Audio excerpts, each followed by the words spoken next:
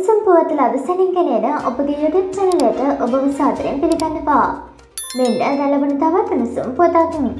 පාසල් වල වාර විභාගය පැවැත්වීමට පාසල් මට්ටමින් දෙමාපියන්ගේ මුදල් එකතු කිරීමට අධ්‍යාපන අමාත්‍යංශය විසින් කටයුතු කරමින් සිටින බව ලංකා ගුරු සංගමය සඳහන් කරයි. එහි ප්‍රධාන ලේකම් ජෝසප් ස්ටාලින් මහතා සඳහන් කරන්නේ මේ වන විට පාසල් වාර විභාගය පැවැත්වීම සඳහා ප්‍රතිපාදන වෙන් නොකර සිටීමට අධ්‍යාපන අමාත්‍යංශය කටයුතු කරමින් සිටින බවයි.